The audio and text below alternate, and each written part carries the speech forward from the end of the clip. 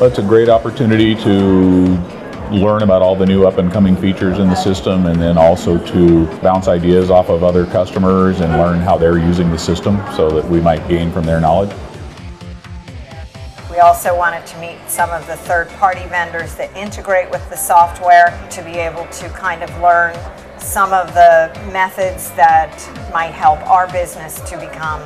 more efficient in how we use it. The Protection Training product is so versatile, you can use it in a million different ways, and to see how other people are doing their processes can help streamline yours.